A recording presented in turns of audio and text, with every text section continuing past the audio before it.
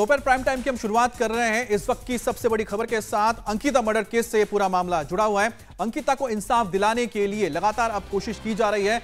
अब नया खुलासा क्यों आपको बताते हैं? पब्लिक का गुस्सा इतना बढ़ गया है कि आज पुलिस ने पुलिस ने जब रोका वहाँ पर पुलिस ने वहाँ पर तमाम लोगों को तो वो भी बड़े दिक्कत में आ गए क्योंकि रोड जाम कर दिया गया था। परिवार अंतिम संस्कार के लिए जब राज़ी नहीं हो पाया था। परिवार का कहना है कि जब तक फाइनल पोस्टमार्टम रिपोर्ट नहीं आ जाती है, तब तक मौत से जुड़ा पूरा मामला खुलासा नहीं हो जाता है। तब तक अंतिम संस्कार नहीं किया जाएगा। जो जिसका ज़िक्र हम कर रहे थे कि पुलिस भले ही कोशिश करती रही, प्रशासन कोशिश करता रहा कि परिवार मान जाए, लेकिन हुआ नहीं। परिवार के साथ साथ लोगों का गुस्सा आज सड़कों पर नज़र आया।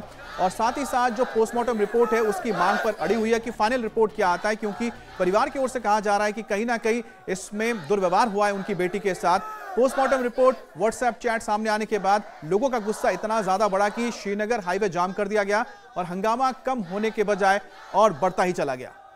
इंडिया टीवी, हर वक्त, हर जगह। डाउनलोड करने के लिए सर्च करें India TV news, Google Play Store या एप स्टोर पर।